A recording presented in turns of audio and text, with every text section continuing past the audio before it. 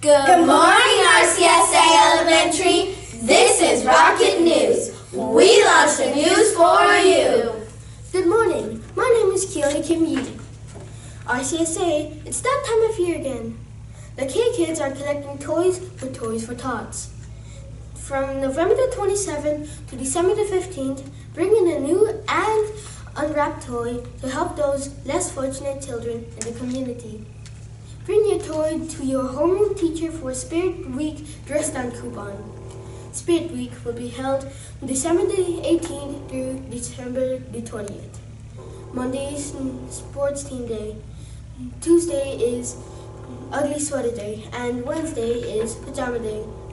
Help make someone's Christmas merry. Good morning, my name is Stacy. This week in reading, you'll be taking the I iReady Reading Diagnostic. Be sure to take your time and do your best. Show your teachers what you've learned. Also, this week, Friday, December 8th, will be the last day for clubs and tutoring. It you will need to sign up for clubs again next quarter. Hope you have fun. In other news, read, read, read. Your quarter two AR goals are due Friday, December 15th. All students who reach their goal will be invited to an AR party in January after the winter break. Good luck. We hope you, to see you there.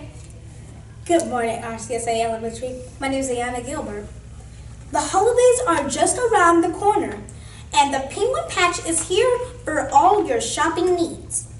This week, only you will be able to visit the Penguin Patch and buy gifts for mom, dad, grandma, and grandpa, or maybe even yourself. Don't forget to use the money envelope your teacher sent home in the Friday folder. Join us for the fun and excitement at, of the Penguin Patch. Good morning, RCSA. My name is Hiva. Rocket News would like to congratulate the December Student of the Month. You are invited to breakfast on Friday, December 8th in the Teacher's Lounge. Keep up the good work. In other news, this week is Hour of Code. Our entire school is joining in on the largest learning event in history. You can help build the Star Wars galaxy. You will be participating during your STEM and technology classes. Students that participate and complete the program will earn a Just Down Day on December 13th. May the Force be with you. That's all from Rocket News. See you next week, RCSA.